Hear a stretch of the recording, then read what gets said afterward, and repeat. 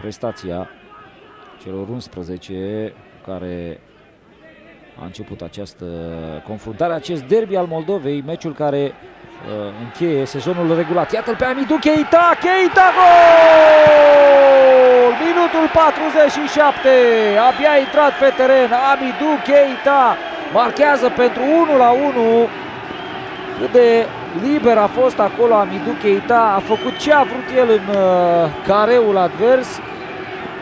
Finalizare formidabilă a francezului originar din uh, Mali. Îl destabilizează pe Mihalache.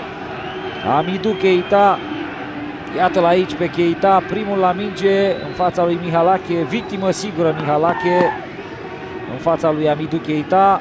Foarte utilă și acea prelungire a lui Țigănașu dacă am văzut eu bine a prelungit cu